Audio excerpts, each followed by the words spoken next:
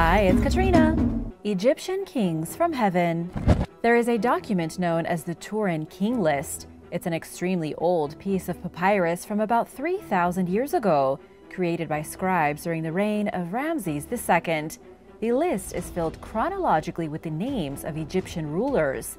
In fact, it is the most extensive list from ancient Egypt that details the kings and overlords of the great nation. However, the beginning of the list was never found, and neither was the end of it, and so it's not totally complete. Scholars have been able to learn a lot of information from the list. It details the names of the rulers, how long they were in power, including months and days, and even which rulers were connected by family. It's basically a cheat sheet going back thousands of years for the entire history of the ruling class in Egypt. But there's something very mysterious about the Turin King list, and one major problem. Not only does it name rulers going back to the 15th dynasty, but it also lists mythical kings and gods. Mixed in with the names of the normal human kings are legendary beings that supposedly ruled Egypt, creatures that came down from the sky to take over the country. Many of these are listed as having ruled the kingdom before the days of the pharaohs. Obviously, there's a bit of confusion here. If the list is to be believed, Egypt was dominated by god kings who ruled over a mythical time in Egypt's history, before the days of the pharaohs. Either Egypt really was first ruled by godly beings from the sky, or the Egyptians just believed that such a time existed in what they thought of as their ancient past. The first exorcism. In France during the 1590s, there was a young woman by the name of Martha Brossier. She became a pretty well known celebrity because it was widely believed she was possessed by demons. But it wasn't only her possession that made her famous.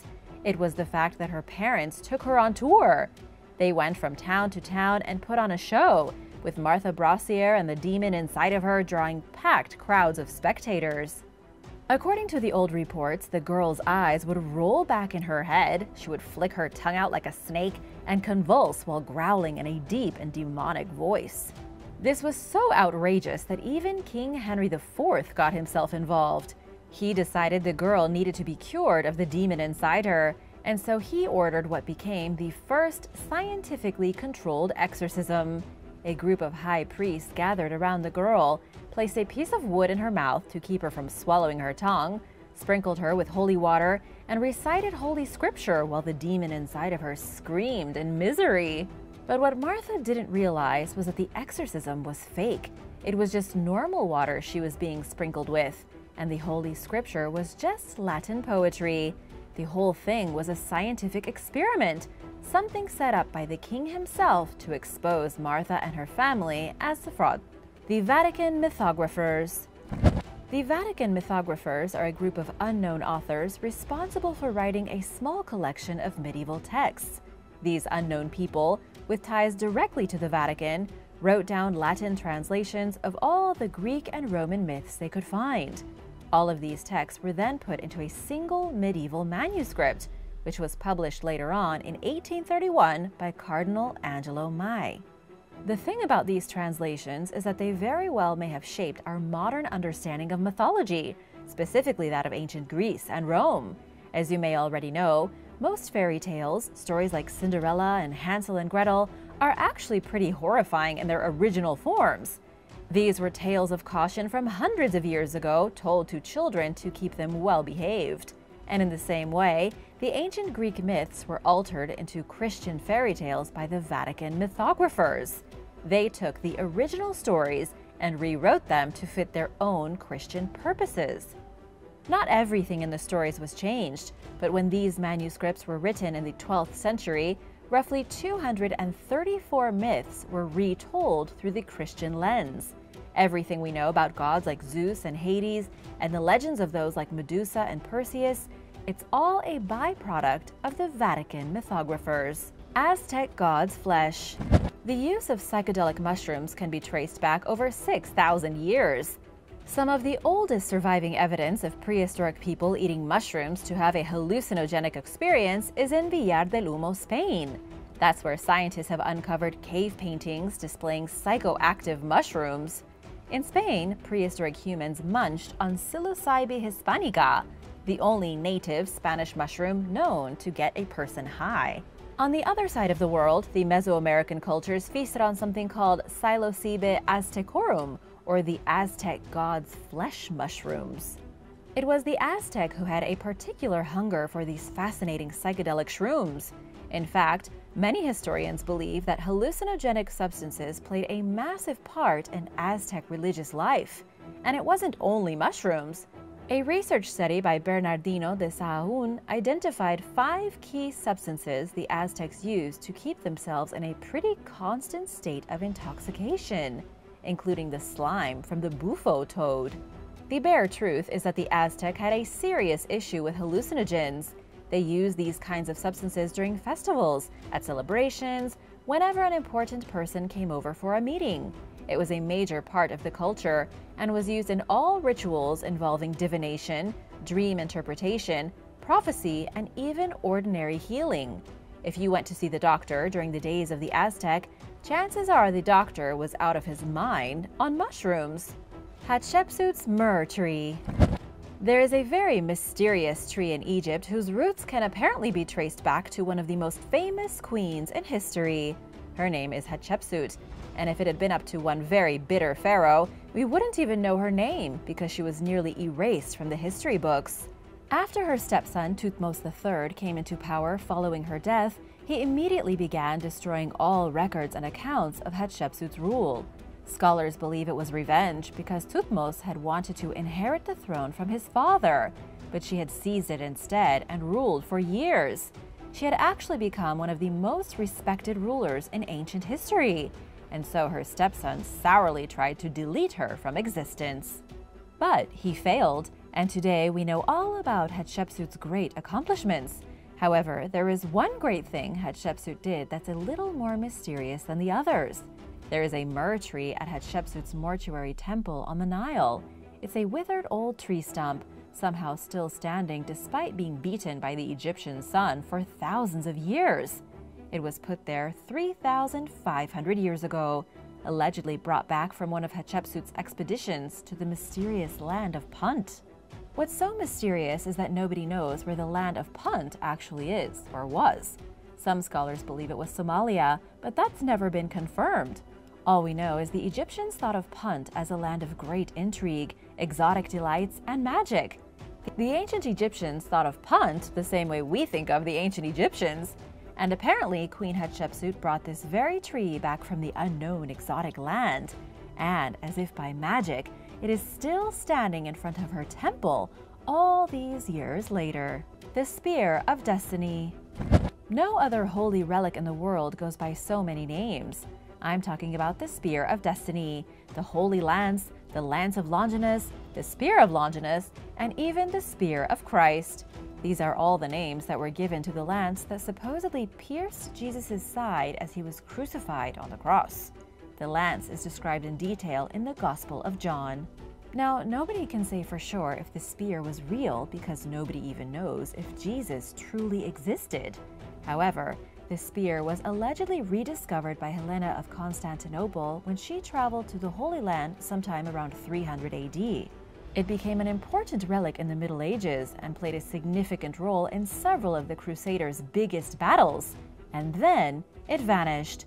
Nobody knows where it is today, but there is a bizarre rumor that Adolf Hitler had an obsession with the spear and sent his own men to find it. It's also important to note that there are a lot of fakes out there. There is a holy lance held in a museum in Vienna that was supposedly wielded by the soldier Longinus. And then there's the story of Dr. Howard Buechner. The doctor says that the spear was sent to Antarctica with a whole bunch of other Nazi treasures after the end of World War II. Then, in the 1970s, those treasures were rediscovered by a secret Nazi society and are now being hidden in Europe. Mysterious Ancient Tooth There is some very strange science happening regarding our ancient ancestors. A tooth which once belonged to a young girl was discovered in a cave in the Southeast Asian country of Laos. The tooth is 164,000 years old, and it belonged to a human lineage scientists call the Denisovans. The only other evidence of this bizarre form of ancient humans has come from other caves in Siberia and China. Finding a tooth from the exact same type of mysterious humanoid in Laos shows that the Denisovans must have lived in a wide range of environments, conditions, and latitudes. They lived all the way from the tropical forests of Southeast Asia to the freezing cold of the Siberian tundra. But just who were these ancient people, so distantly related to us on our human family tree? The experts aren't entirely sure. What they do say is that about 700,000 years ago, modern humans separated from Neanderthals and Denisovans. And then, about 400,000 years ago, the Neanderthals and Denisovans diverged although for the next several hundred thousand years, they continued to mate with humans. The truth is that scientists don't know a lot about them. All they found so far are five confirmed fossils, consisting of three teeth, one finger bone, and a single jawbone. Canaanite goddess. While cultivating some fields near the city of Khan Yunis near the Gaza Strip, a farmer came across an extraordinarily rare sculpture. The sculpture dates back 4,500 years. It's a stone head which had broken off of its body centuries ago. And while it's a little difficult to identify the face of the statue beyond any doubt, archaeologists believe it could very well be the Canaanite goddess Anat. Anat was the goddess of love, beauty, and also war in the mythology of the Canaanites. This is according to Jamal Abu Rida, the local ministry director, who said her statue was discovered with a snake crown, which was once the symbol of strength and invincibility for the Canaanites. It was the Canaanites who lived in the ancient territory of Canaan, what is today Israel, Palestine, Jordan, Syria, and Lebanon. They are considered to be one of the oldest civilizations in human history. Anat was a truly remarkable goddess, and was worshipped by everyone from the Canaanites to the Egyptians. This is something not a lot of people know. In ancient times, gods were basically like celebrities. The most popular would be passed around by word of mouth. They would become more popular in different cultures, and then you had deities like Anat and Zeus being worshipped across all of the Mediterranean. In fact, Anat became so popular that she morphed and turned into a whole bunch of different goddesses in the ancient world. She would even go on to become the goddess Athena in Greek mythology.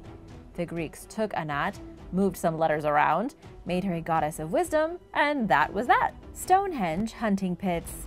The mystery of Stonehenge just keeps getting stranger. Researchers have just discovered hunting pits dated at over 10,000 years old, made far before the actual stones were ever erected at this ancient monument. The find was made by archaeologists with the University of Birmingham. The pits are about 13 feet wide and over 6 feet deep and were made by hunter gatherers between 8200 BC and 7800 BC. This was during the Mesolithic period, just after the Ice Age came to an end. The first important thing to note is that the hunting pits have nothing to do with Stonehenge itself. Rather, it all has to do with this specific part of England. These are some of the oldest prehistoric pits that have ever been excavated, and it shows that people were continuously drawn to this area for about 7,000 years. From primitive people all the way to the Bronze Age, from living in caves to practicing agriculture. The mystery is that we still have no idea what drew human beings to Stonehenge. Even thousands of years before the first stones were put up, humans were digging holes all around the site, it's almost as if there is something in the soil here that drew ancient humans directly to this spot. The secret Greek gods. Even in the days of ancient Greece, some knowledge and some beliefs were considered forbidden. While gods like Zeus and Poseidon may have been mainstream, there were other gods who were worshipped by a secret underground cult. These gods were called the Cabeiri. This mysterious cult was so secret that we still don't know much about it today. Historians believe the cultist activity was centered on the islands of Lemnos and Samothrace. However, the worship of the Cabeiri gods could have taken place outside of Greece as well. One of the most important places of worship for these discreet cult members was the Sanctuary of the Great Gods, or the Samothrace Temple Complex. It was built to the west of the city, just at the fringe of civilization.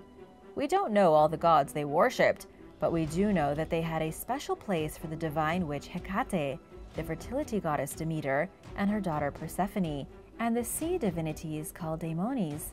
Archaeological evidence suggests there were two main figures at the core of this cult but nobody has ever been able to identify them. The Index Librorum Prohibitorum. The Catholic Church's history of censorship dates at least as far back as the 9th century. Still, one of its more extreme attempts to control its followers came with the publishing of the Index Librorum Prohibitorum in 1560. Established by Pope Paul IV, it was essentially a list of thousands of books and publications that Catholic worshippers were banned from reading. Perhaps the most dramatic form of censorship in Christendom, the index was not limited to theology. It banned works ranging from love stories to philosophical treatises to political theory. The index prohibited both religious and secular works, as well as versions of the Bible that the Church had not approved. Many were written by intellectuals and were about topics like astronomy and philosophy. The invention of the printing press had made reading material far more accessible than ever before, and Catholic authorities saw this type of thought provoking and scholarly material as a threat to its followers' faith. Pope Paul IV created the Index partially as a response to this increased availability of literature, which officials believed might encourage people to question or stop believing what the Church told them.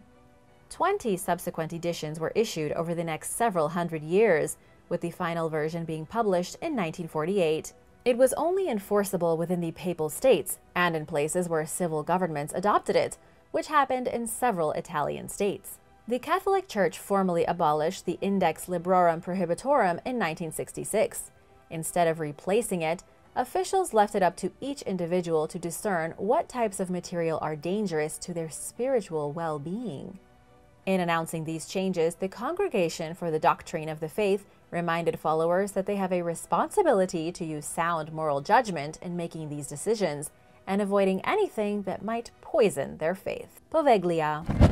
In northern Italy's Venetian lagoon, less than a half mile from Venice, the tiny island of Poveglia first appeared on the historical record during the 5th century. It remained inhabited until 1379, when its residents fled because of warfare. Starting in 1776, Poveglia was used as a quarantine station for plague victims and sufferers of other diseases before being converted into a mental hospital in 1922. The island has been vacant since the asylum closed in 1968 despite recent efforts to repurpose it into a luxury vacation resort. As much as half of Poveglia's soil contains human remains left behind by the over 160,000 patients who died there. Archaeologists have uncovered mass graves containing the remains of hundreds of plague victims on nearby islands, but have yet to fully explore Poveglia. Legend holds that a doctor who worked at the island's mental hospital tortured and killed patients before butchering them. While these claims remain unsubstantiated, the hospital's remains are still there, being slowly reclaimed by nature. Meanwhile, many paranormal enthusiasts believe Poveglia is haunted. But the island remains off limits to visitors, and there is no word on if or when it will open up to the public. The destruction of China's past. China's first emperor, Qin Shi Huang, began making power plays at the young age of 13 when he became the head of his state and had his mother's lover executed because he was a perceived threat to the young man's power. He ruled as the Qin dynasty's first emperor from 221 to 210 BC, during which time he got rid of any material that scholars might use to challenge his supremacy. Acting on the advice of his chief advisor Li Si, Qin Shi Huang is said to have ordered the destruction of nearly all previously existing books within the empire. The only exceptions were literary works on astrology, agriculture, medicine, divination, and the history of the Qin state. Anyone who was caught with certain ancient works, such as the Book of Songs or the Classic of History, faced brutal punishment. The year after the ban went into effect, Qin Shi Huang reportedly buried 460 scholars alive after they were caught with the forbidden books. Another account claims that the emperor had killed alchemists after they had fooled him into thinking they held the secret to eternal life. Either way, it's clear that Qin Shi Huang sought to destroy any historical records that failed to fall neatly in place with his narrative, and his mission succeeded, leaving modern historians with gaps in their quest to understand the past. Ovid's banned books. The Roman poet Ovid lived from 43 BC to 17 or 18 AD during the reign of Augustus. He was extremely popular yet controversial during his time, often focusing on erotic themes that Augustus found inappropriate and felt that the public needed protection from. Without consulting the Roman Senate, the emperor banished Ovid to the island of Tomis on the Black Sea. Augustus took particular offense to Ars Amatoria, or the Art of Love, a three book series that was meant as a guide to help men find and keep women, and to advise women on how to win and keep a man's love. Ovid's well intending advice may have been interpreted by Augustus as a threat to the monogamous marital standards he encouraged among the population. His goal was to increase the Roman birth rate, but this was just the first of several times that Ovid's works would be banned from society. In 1497, during the burning of the Vanities, followers of the Dominican priest Girolamo Savonarola collected and burned tens of thousands of supposedly immoral objects in Florence, Italy. Included among them were all of Ovid's works, which were also burned in England in the bishop's ban of 1599. The poet's writing was even banned from being imported into the United States in 1928, when customs officials prohibited an English translation of Ars Amatoria from entering the country. The ban was lifted two years later owing to a legal exception that allowed books of literary or scientific merit that were otherwise considered immoral to be allowed into the United States. The Picatrix. Originally written in Arabic during the 10th or 11th century, the Picatrix is the Latin name for a 400 page book about magic and astrology. Nobody knows who wrote it.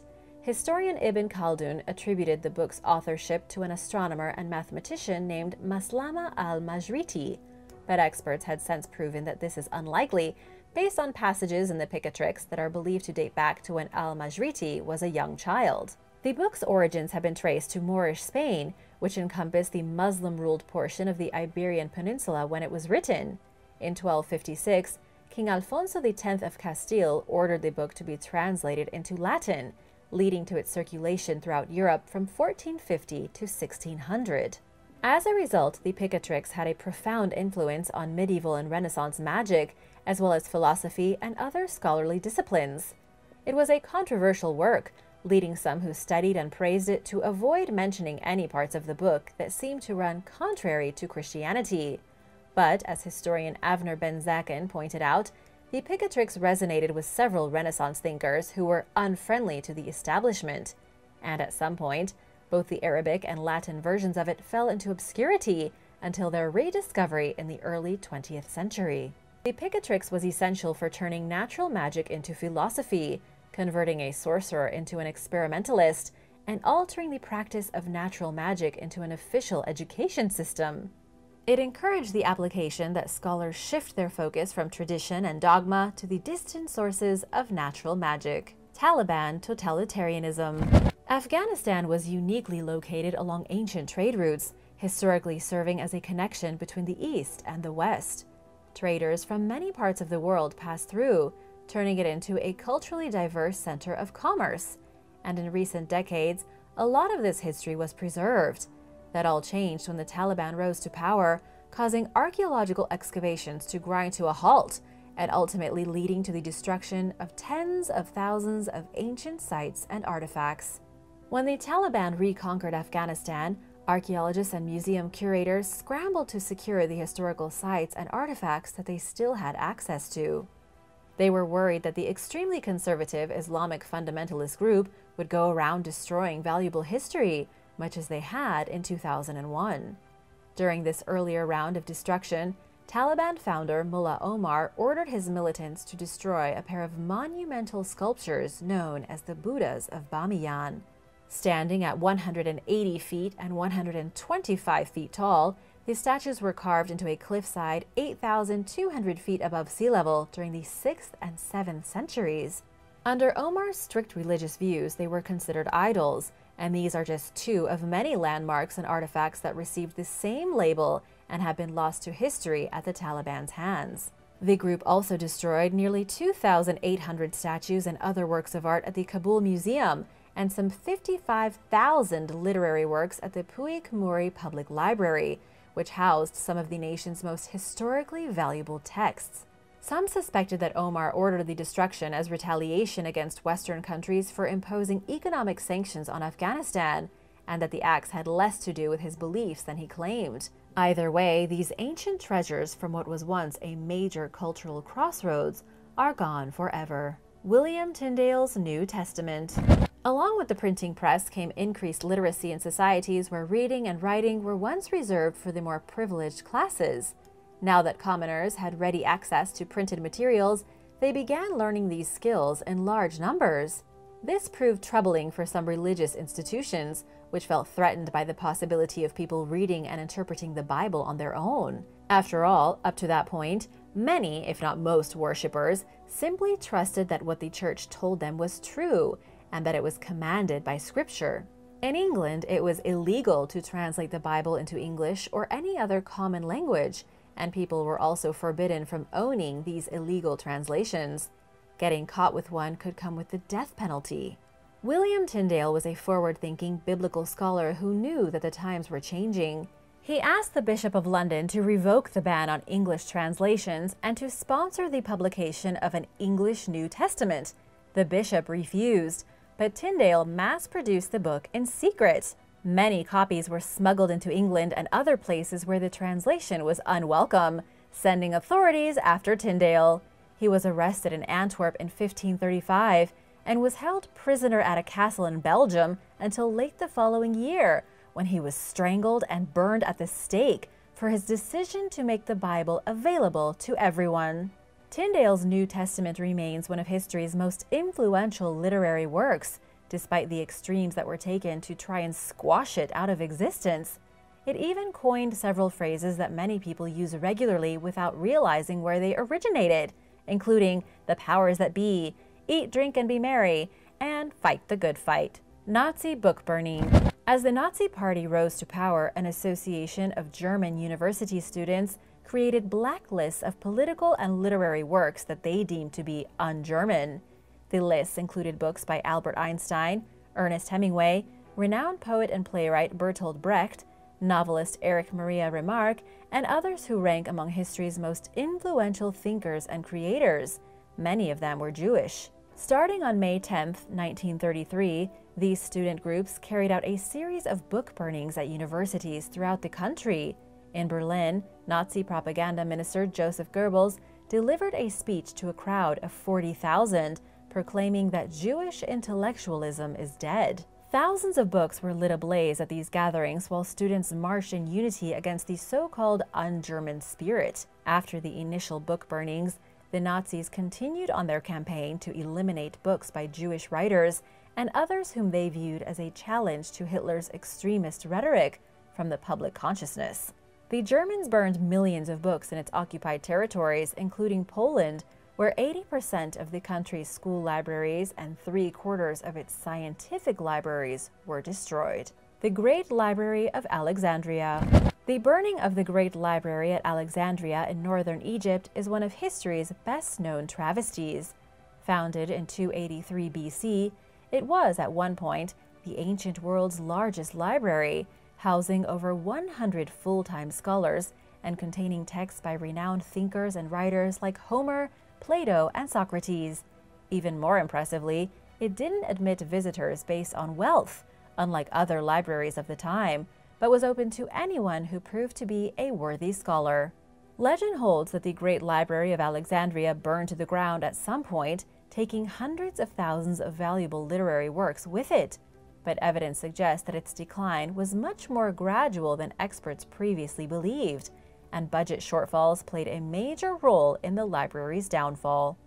The first alleged fire at the Alexandria Library occurred around 40 AD, when Julius Caesar and his invading forces set it on fire, marking the first in a series of destructive battles and blazes over the following centuries.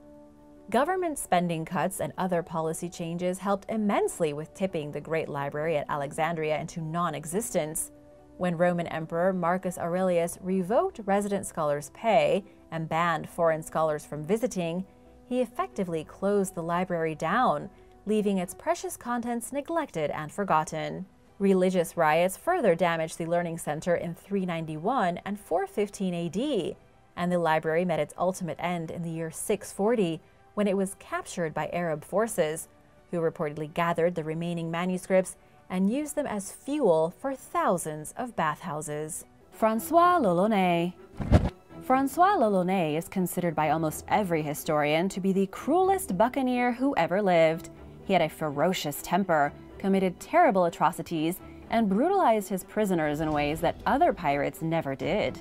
We have to go back to the beginning when his given name was Jean David Naud, born in France in 1635. He was originally sold to a master as a young child, taken to the Caribbean, and held there as a servant until 1660. And that was when he joined the buccaneers stationed at Saint Domingue. He had been a servant all his life and had grown up with plenty of nastiness. The opportunity to get on a pirate ship and rob and kill Spaniards was just too good to pass up. After working himself up through the ranks, Francois was given his very own ship to command. And when he started off on his own, he had a very specific way that he did business. He killed every single person on the ships he plundered as a matter of pirate principle. And he even started organizing land attacks, not just focusing on naval thievery. Francois teamed up with another pirate named Michel de Basco. Together, they raised an army of about 600 pirates spread across eight ships. They then went through the Gulf of Venezuela and attacked cities indiscriminately. They killed thousands of people, tortured citizens, and burned whole towns to the ground. The only issue is that the loot wasn't very good because these were poor rural villages along the coast. They didn't have any treasure.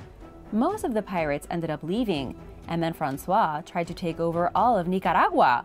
But on his way there in 1668, he was captured by a group of indigenous people, and they knew exactly who he was. So they cut the pirate into pieces and burned him. Sir Henry Morgan. Sir Henry Morgan is the same captain you're probably thinking of, the guy on the Captain Morgan rum bottle. But Morgan didn't start out as a rum drinking pirate. He began his naval career as a wealthy privateer operating in the Caribbean. He later became the governor of Jamaica, and after that, a bloodthirsty pirate. But Captain Morgan was a more refined pirate than many of those active back in the 1600s. The captain was a political man, a military leader, and something of a strategic genius. He also hated the Spanish. Morgan didn't turn to piracy only for the sake of getting rich, although it certainly helped. His ultimate goal was to damage the Spanish Empire, and that's exactly what he did. For 20 years, Captain Morgan hurt the Spanish wherever he could. One of his most famous attacks was in the city of Portobelo in 1668. Morgan besieged the city with a massive force of buccaneers. Portobelo was a huge treasure port for Spain, where they kept mass amounts of silver that was being gathered from mines in South America. Morgan had only two ships and 700 men. He used those ships to distract the Spaniards that were manning the fortresses, while he secretly landed 500 men a couple of miles away from the major town. Since the Spanish were expecting to be attacked from the sea, they never expected the small army coming up from the town to their fortress. But here's what was so especially brutal about it. When the pirates came up from the town, they had prisoners with them, specifically women, priests, nuns, children, and they used these people as human shields. Chen Yi Sao one pirate you may not have heard of is Chen Yisao, a brutal female pirate from China who dominated the coastlines of Asia between 1795 and 1810. Not only was she a fierce buccaneer and one of the most successful wealthy pirates of all time, but she was basically a pirate queen. At her peak, she was in command of over 70,000 pirates spread across 1,200 vessels. That was a force larger than the Spanish Armada, if Chen had been so inclined, she probably could have defeated the Spanish and British at sea and left their operations in the Caribbean and South and Central America completely crippled. What makes her so fascinating is how she pulled this huge pirate army together. She started her career as a pirate after leaving her job as a lady of the night. She then married a pirate and joined him at sea. Together, they organized rogue pirate gangs into one main confederation. When her husband died suddenly and mysteriously, Chen Yisao quickly became known as the almighty ruler of the Pirate Confederation and squashed any potential squabbles for power. During her brief time as a commander, she caused terror all along the coast of China, robbing, killing, and selling humans into slavery. She only stopped when things felt like they could fall apart, but she didn't hide off on some island and bury her treasure. She demanded a pardon from the Chinese government They gave her one, and she spent the rest of her life running a small smuggling racket inside a gambling house on the mainland. She lived to be almost 70 years old. Charles Vane. Charles Vane had a career of about five years. We know little about his early life other than he was probably born around 1680 somewhere in England. After a brief naval career, Charles moved to Nassau, put together a small crew of pirates, and started looting. But his career was brief and bloody. He was cruel in his dealings with prisoners, and when he took a ship, he didn't just tie people up or throw them overboard. He would beat, torture, and then kill the sailors in the worst ways imaginable. He even had a chance to step away from piracy in 1718 when the king offered him a pardon. Charles agreed to take the pardon, but immediately went right back to his life of crime. Then, in 1719, Charles got caught in a storm. He was marooned on an uncharted island and was later discovered by a passing British ship. Sadly for him, they knew exactly who he was and brought him straight to Port Royal. He spent the next two years in a jail cell before ultimately being hanged in March 1721. Captain Kidd Captain William Kidd had some of the worst luck of any pirate who ever sailed the high seas. He had the unfortunate luck of being born at the very end of the golden age of piracy. Pirates had just enjoyed a very long run of moderate freedom and success, but all of that was ending. This made Captain Kidd one of the very last legitimate pirates before the world moved on. The captain started out as a successful privateer in the 1690s while England and France were at war. Kidd was charged with defending trade routes going from America to England. He was also tasked with combating pirates in the Indian Ocean. His mission was to rid the sea of piracy once and for all. And if he had to destroy some enemy ships and secure their valuable cargo to do it, that was what he would do. The very first pirate he tried to capture was Robert Culliford in 1696. Unfortunately, Captain Kidd wasn't actually that great at finding pirates. After a long time at sea with nothing happening, his crew turned on him. They mutinied and forced Kidd to give up his search for the pirate and become a pirate himself. In 1698, they attacked a merchant vessel and stole its cargo of silk, sugar, and opium. What Captain Kidd didn't know was that in those two years he'd been gone, the mood had changed in England regarding piracy. Pirates were to be completely eradicated, and stealing from another ship was now a criminal act. When he arrived in the West Indies in 1699, they were hunting pirates like witches. Kidd buried some of his treasure on Gardiner's Island and Block Island, then was arrested on July 7, 1699, when he landed in Boston. He was found guilty of murder and piracy and hanged on May 23, 1701. He'd only ever stolen one load of cargo and had only done it because he failed at being a pirate hunter. Would you rather have been a pirate or a pirate hunter? Let me know in the comments below. Black Bart Black Bart, whose real name was John Roberts, was one of the most successful pirates the world has ever seen. We don't know the exact numbers, but most historians agree he plundered somewhere around 400 ships during his career. The main reason he was so successful was that he was brutal, bold, and fearless. He would terrorize every ship that he encountered while sailing through the Caribbean Sea, even ships that were obviously far superior to his. He would go up against warships and the most fearsome vessels that most pirates would avoid at all costs. And like most pirates, he had a real mean streak of violence in him. They called him Black Bart because his heart was as black as coal. He once captured a slaving ship with 80 slaves shackled down in the hull. Rather than save the slaves or at least let them go, he burned the ship with them still on board. He was an absolutely heinous person, and he met his death soon after in 1722 at the end of a noose. Calico Jack John Rackham, also known by his nickname Calico Jack, is most famous for being the guy who came up with the pirate flag. Its real name is the Jolly Roger flag, and it's probably one of the most famous flags in the world. This skull and two crossed swords, or the skull and crossbones, is the sign of piracy in nearly every single place you go in the world. John Rackham was a rather unusual man, a pirate who terrorized ships around the Bahamas and Cuba.